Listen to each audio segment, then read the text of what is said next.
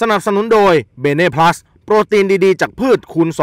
2 นะตั้งแต่กูเข้ามาเป็นพบตรแล้วกูก็อาวุโสน้อยสุด แต่ว่าอะไรกูก็ได้เป็นพบตรเพราะกูใหญ่ พอมีเรื่องมีราวก็คดีกูก็หลุด เพราะอะไรเพราะกูใหญ่ อีกคนหนึ่งก็เป็นไง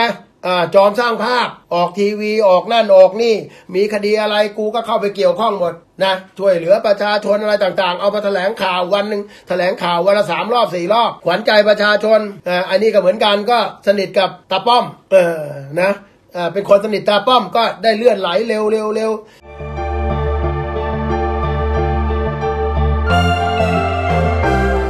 เอาเรื่องต่อไปก็เรื่องบิ๊กต่อบิ๊กโจ๊กก็แม่ก็ยังคุยกันไม่จบอะ นักข่าวก็ยังถามอยู่นะบิ๊กต่อบิ๊กโจ๊กความจริงนะ ไอ้สองคนนี้แม่งทะเลาะกัน ผมถามว่าประชาชนได้ประโยชน์อะไรจากมันไหมโจ๊กแม่งจะกลับมาเป็นผบตรต่อแม่งจะมาเป็นผบตรประชาชนได้อะไรวะนะแต่นักข่าวแม่งก็เถียงกันอยู่นั่นเนี่ยผมเชียร์โจ๊กผมเชียร์ต่อข่าวแม่งไปทุกช่องเลยไอ้โจ๊กไอ้ต่อสองคนเนี่ยแม่งทะเลาะกันอยู่นั่นเนี่ยผมถามว่าไอ้สองคนเนี่ยแม่งจะได้เป็นผบตรหรือใครแม่งจะติดคุกอะ ผมถามว่าพี่น้องประชาชนรวมถึงกูเนี่ยได้อะไรไม่ได้ แต่ข่าวเมืองไทยแม่งชอบคนทะเลาะกัน มีกองเชียร์โต๊ะกองเชียร์ต่ออะไรต่างนะ เออ คนไทยมันชอบไอ้เรื่องอะไรขัดแย้งโต้กันไปโต้กันมาอะไรต่างพวกเนี้ยแต่แต่ถามว่าประชาชนได้หาไม่มีนะครับ ทั้งต่อทั้งโจ๊กถูกกล่าวหาว่ามีมนทิน ถูกกล่าวหาว่าเกี่ยวข้องกับบัญชีม้าฟอกเงินอะไรต่างๆทั้งคู่ ถูกกล่าวหาทั้งคู่ จริง ๆ แล้วเนี่ยสำนักงานตำรวจแห่งชาติเนี่ยอยากจะให้หมดปัญหานะครับ ก็เลือกคนที่แม่งไม่มีมนทิน ไม่มีศัตรูไม่มีอะไรเขาเรียกอะไรวะไม่มีประวัติด่างพร้อย ไม่เคยยุ่งเกี่ยว ไม่ถูกร้องเรียน ไม่มีคดีอะไรต่างคนในสำนักงานตำรวจแม่งเยอะแยะสองคนนี่แม่งไม่ใช่เป็นเทวดา ไอ้สองคนจะติดคุกติดตาราง หรือโดนพักราชการเนี่ยจริงๆแล้วแม่งไม่เป็นสาระอะไรกับพี่น้องประชาชนเลย นะจริงไหมครับพี่น้องครับ ถ้าเห็นดีเห็นงามก็เคาะหัวใจถ้าทิกตอก YouTube กับ Facebook ก็กดไลค์กดแชร์กันไป เปิดการมองเห็น คนในสำนักงานตำรวจแห่งชาติตำรวจดีๆ แม่งสองสามแสนนาย เยอะแยะ เอาคนที่แม่งไม่ต้องมีปัญหาเหมือนไอ้สองคนนี่แหละ เอามาเป็นพบตรหรือว่าสำนักงานตำรวจสองแสนกว่าคนเนี่ย มีแต่คนไม่ดีหรือไง ผมเชื่อว่าสำนักงานตำรวจชาติแม่งมีคนดีเยอะแยะก็เอาใครก็ได้แม่งเอาขึ้นมา ที่แม่งไม่ได้เกี่ยวกับบัญชีม้า ไม่ได้เกี่ยวกับฟอกเงิน ไม่ได้เกี่ยวกับการปกปิดทรัพย์สินนี่สินบ้านคอนโดรีสอร์ทหาอะไรก็แล้วแต่ไอ้สองคนเนี่ยมันมันมันมันถูกกล่าวหาว่ามีมนทินทั้งคู่ แล้วก็เอาคนอื่นมาก็จบแล้วนะแล้วไอ้ไอ้พวกนี้มาเป็นอะไรประชาชนจะได้ประโยชน์อะไรเออนะ ทั้งบิ๊กโจ๊กบิ๊กต่อ ก็มานั่งถกเถียงไอ้คนหนึ่งก็เส้นใหญ่ พี่ชายกูใหญ่นะตั้งแต่กูเข้ามาเป็นพบตรแล้วกูก็อาวุโสน้อยสุด แต่ว่าอะไรกูก็ได้เป็นพบตรเพราะกูใหญ่ พอมีเรื่องมีราวก็คดีกูก็หลุด เพราะอะไรเพราะกูใหญ่ อีกคนหนึ่งก็เป็นไงอ่าจอมสร้างภาพ ออกทีวีออกนั่นออกนี่ มีคดีอะไรกูก็เข้าไปเกี่ยวข้องหมด นะช่วยเหลือประชาชนอะไรต่างๆ เอามาแถลงข่าววันหนึ่งแถลงข่าววันละสามรอบสี่รอบ ขวัญใจประชาชนอันนี้ก็เหมือนกันก็สนิทกับตาป้อมเออนะเป็นคนสนิทตาป้อมก็ได้เลื่อนไหลเร็วเร็วเร็วนะข้ามหัวคนอื่นเข้ามาเยอะแยะ อายุยังน้อยแต่เป็นไงโอ้โห ขึ้นมาเป็นใหญ่เป็นโต คือผมว่าสองคนเนี่ยนะเอาว่างตรงแม่งพอกันนะอีกคนก็ลูกศิษย์ตาป้อม อีกคนก็พี่ชายใหญ่แม่งพอกันเนี่ย ต่างคนต่างก็แม่งมีเส้นนะ แล้วก็ข้ามหัวชาวบ้านก็ปุ๊บปุ๊บปุ๊บปุ๊บปุ๊บปุ๊บปุบขึ้นมาอายุยังน้อยแต่เป็นไงพลตำรวจเอกนะไอคนที่เรียนรุ่นเดียวกันว่าพลตำรวจตีอย่างมากนะเพราะสองคนแม่งก็มีเส้นทั้งคู่เลยแค่นั้นเนี่ยอ่าพอพลาดขึ้นมาก็อ้าวกูก็แฉมึง พอแฉเสร็จกูก็แฉมึง คือสรุปแล้วสองคน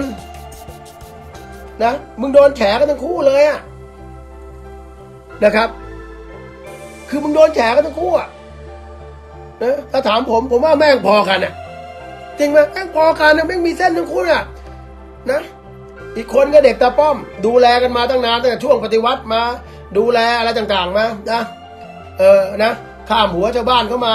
อายุน้อยแต่ไงพลตำรวจเอกอีกคนก็เป็นไงเเลื่อนตำแหน่งเร็วปุ๊บปุ๊บปุ๊บปุ๊บปุ๊บก็ข้ามหัวเข้ามาอ่าเพราะอะไรพี่ชายมันใหญ่นะพอกันแค่นี้ เนี้ยแล้วสองคนนี่นะ แล้วสุดท้ายก็โดนกล่าวหา มีมนทินฟอกวงฟอกเงินอะไรจริงเท็จอะไรไม่รู้ว่าแม่งโดนกล่าวหาทั้งคู่อะนะเราก็อย่าไปเอาไอ้สองคนนี้ก็เอาคนอื่นมาก็จบนะเอาคนที่แม่งไม่มีประวัติ คนก็อยากเป็นแม่งเยอะแยะ นะครับ อืมนะครับ อืมพี่เดย์นี่ก็พูดตรงไปตรงมา จริงไหมกูไม่ได้เข้าข้างใครแล้วเพราะไม่รู้กูจะเข้าข้างมันทำไมอะไม่ได้มีประโยชน์เลย นะเพราะกูไม่ได้ทำอะไรผิดกฎหมายจะไปแคร์อะไรตำรวจ เข้าใจนะ เอออืม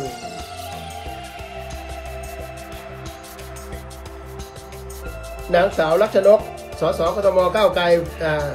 โพสต์ภาพหุ่นยนต์ แล้วก็เอาหัวนายกไปเสียบนะอืมนะในการอภิปรายงบประมาณเมื่อวานนี้นะครับ อืม คือตอนเนี้ยใครๆก็มองว่าเศรษฐาแม่งเป็นแค่หุ่นยนต์เออบางคนก็บอกว่าเป็นแค่หุ่นเชิด อันนี้พี่น้องประชาชนก็มองนะ เพราะนั้นเศรษฐาเนี่ยก็ต้องแสดงให้ประชาชนเห็นว่ากูไม่ใช่หุ่นยนต์ กูไม่ใช่หุ่นเชิดของทักษิณ เพราะตอนนี้ทุกคนเนี่ยนะประชาชนเนี่ยเขารู้เลยว่าเศรษฐาคือหุ่นยนต์หุ่นเชิดนะครับเนี่ยอย่างพรรคอ่าก้าวไกลเนี่ยเขาอธิบายเมื่อวานเนี่ยเขาก็เด็ดด้วยนะแต่แต่ เอาเอาหุ่นยนต์มาแล้วก็ใส่หัวเศรษฐาไปเนี่ย อืม คือตอนเนี้ยมันเหมือนกับว่าเรามีนายก แต่ไม่มีอำนาจนะอำนาจแม่ก็อยู่กับคนรอบข้างของนายกหมด ซึ่งเป็นเด็กของใคร เด็กของพี่เหลียม พี่เหลียมคือใครอะ พี่ทักษิณเขารู้กันหมดว่าเนี่ยไอ้แบบก็พวกนี้ก็แค่หุ่นยนต์ คนที่มีอำนาจก็คือภูมิธรรมนี่คือเด็กเขาเด็กพี่เหลี่ยมเขา ใครที่จะเป็นใหญ่เป็นโตก็อยู่ที่พี่เหลี่ยมเขาแล้วก็นายพักเขาก็มีคุณหนูอุ้งอิง คุณหนูคุณหนูอุ้งอิงก็มีหน้าที่ดูแลคนในพักขาดเหลืออ่าค่ากับข้าวน้ำร้อนน้ำชาหรืออะไรนะจะกินกาแฟกาแฟก็ดูแล แต่คุณหนูอุ้งอิงก็แปลกอย่างนะไม่เป็นสอสอไม่เป็นเจ้าที่รัฐ แต่เข้าไปดูแลจัดสรรเรื่องงบประมงประมาณอะไรผมงงนะจนเรืองไกลหรือไงไปร้องเรียนน่ะ ตกลงหนูอุ๊งอิ๊งเนี่ยไปดูแลงบประมาณซอฟต์พาวเวอร์พาวเวอร์อะไรต่างเนี่ยไปออกงานเข้าตำรวจทำเนียบ ตกลงไม่ได้เป็นเจ้าที่รัฐนะถ้าเป็นอะไรครับเป็นหัวหน้าพรรคเนี่ยแล้วไปเกี่ยวข้องกับงบประมาณแผ่นดินได้ยังไงไม่ไม่เกี่ยวนะ คนที่จะไปเกี่ยวข้องงบประมาณแผ่นดินต้องเป็นเจ้าหน้าที่รัฐเรืองไกลก็ร้องตรวจสอบอยู่เนี่ย ผมก็งงนะเนี่ยเออ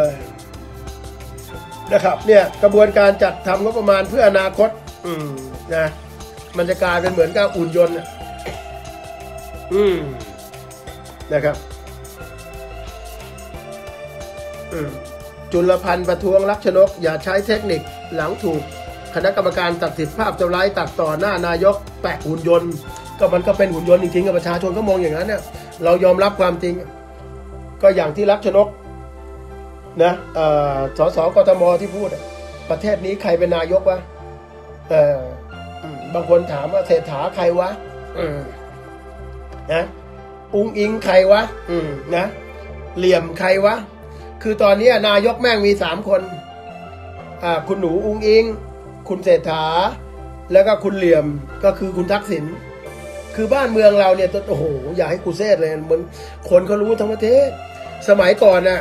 นะอาจจะมีบางคนแดกหญ้าอยู่ แต่พอเป็น FC พี่เดช์แล้วปุ๊บเนี่ย แรก ๆ ก็หญ้าผสมข้าว ตอนนี้ก็หญ้าไม่เอาแล้ว แดกข้าวล้วนๆนะครับ คนแม่งฉลาดมันรู้หมดนะว่า ใครแม่งเป็นหุ่นเชิดนะใครแม่งมีอำนาจดูไอ้หนูอิ๊งเดินไปไหนมาไหนนะโอ้คนเดินตามประกบเลยอะเพราะอะไรเขาสามารถให้คุณให้โทษ คุณอยากเป็นรัฐมนตรี คุณอยากได้อะไรนะ คุณหนูจัดให้นะเออรู้ไหมพ่อกูเป็นใครเออพ่อกูก็พี่เหลี่ยมไง แต่เห็นได้ข่าวก็โดนตัดงบประมาณซอฟต์พาวเวอร์ไปอะสภาเขาบอกไม่สนใจลูกใครอะเขารู้กันทั้งบ้านทั้งเมืองหมดอะคือสมัยเนี้ยเวลาเราเวลาให้สัมภาษณ์สื่อเวลาเราหาเสียงเราก็พูดไปนะเราก็พูดแบบนั้นแบบนี้ไปทำไม่ได้เราก็พูดมักง่ายเราก็พูดโกหกก็พูดไป อันนี้เป็นเรื่องสมมุตินะ แต่ในแต่ประชาชนเดี๋ยวนี้เขากินข้าวแล้ว โดยเฉพาะ FC พี่เดชสองล้านห้าแสนคน FC พี่เดชเฟซบุ๊กล้านกว่า YouTube เกือบห้าแสน TikTok อีก8แสนกว่า FC พี่เดชสองล้านห้าทุกคนประท้วงไม่กินหญ้า เพราะเราไม่ใช่ควาย เราต้องศึกษาหาความรู้ เราจะติดตามการเมืองติดตามข่าว ต้องเข้า Google ไป อยากรู้อะไรก็พิมพ์ก็ไปหาความรู้ เราต้องมีความคิดแบบคนรุ่นใหม่แบบฝรั่ง ฝรั่งเวลาเขาจะวิพากษ์วิจารณ์จะไปเที่ยวประเทศไหนเขาก็หาความรู้นะไม่ใช่เห็นสามบรรทัดปุ๊บเข้าไปด่าพอด่าเสร็จหมายสารมาติดคุก อชิบหายออกจากคุกมากูเชื่อพี่เดก็ดีแล้วไม่น่าไปด่าเขาเลย เข้าใจไหมครับ เพราะฉะนั้นรายการพี่เดก็สอนให้ทุกคนแม่งเรียนรู้นะ เอาตัวรอด